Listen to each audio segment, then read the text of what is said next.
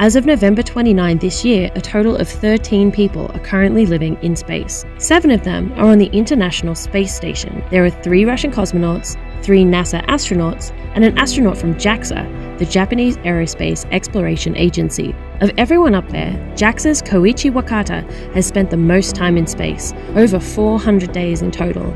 It sounds like a lot, but it's not even half of the record held by cosmonaut Gennady Padalka. Before he retired in 2017, Padalka had racked up an astonishing 879 days in space. There are also six Chinese taikonauts in space right now. They're currently all on board Tiangong, China's low orbit space station. Tiangong is roughly a fifth the size of the ISS, making it a tight squeeze while the crews execute the station's first ever shift change. The crew of mission Shenzhou 14 have already spent six months in space, and they're due to return to Earth and its gravity this month.